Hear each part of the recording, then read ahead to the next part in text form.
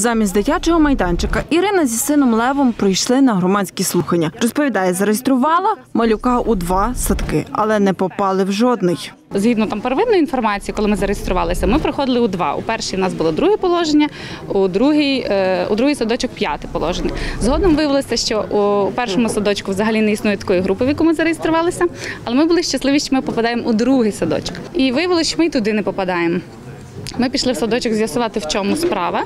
Виявилося, що групу ліквідували, оскільки е, недобір. Початок громадських слухань у залі лише півсотні людей. Львів'яни захід проігнорували. Незважаючи на кількість учасників, згідно статуту міста, збори стартують у практично порожньому залі. На які треба наголосити, зараз буде кілька технічних голосувань. У першому ряді разом зі старшим сином намагається почути відповідь, чому менший не потрапляє у садок. Ще одна мама. Ми були зареєстровані і е, проходили малий проходив в садочок.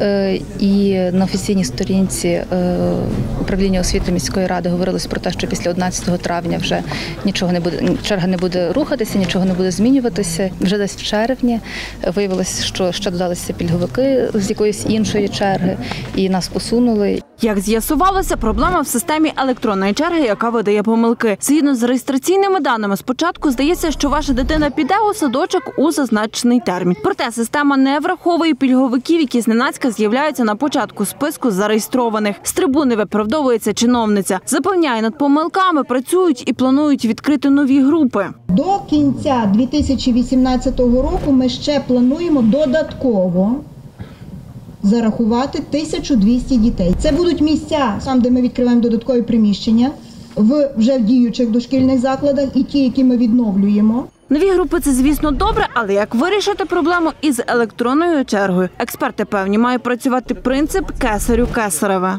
Ці аспекти формування е, черги забрати від управління освіти і передати в центр надання адміністративних послуг, тому що управління освіти повинні займатися навчальними програмами, повинні займатися вихованням дітей. А от е, ці установи, які в нас створені для надання адміністративних послуг, вони повинні надавати адміністративні послуги. Черга в садочку це є один із видів адміністративних послуг. Тож на слуханнях запропонували передати повноваження ЦНАПам, списки зробити відкритими, а реєструвати не за пропискою, а за документом, який засвідчує, що людина вже декілька років є платником податків у бюджет Львова. Марія Шиманська, Віталій Кулеха. Правда, наживо телеканал НТА.